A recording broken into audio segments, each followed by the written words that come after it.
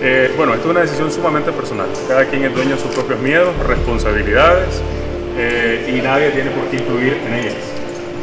Regreso ahora, creo que el tiempo me lo da, lo analicé mucho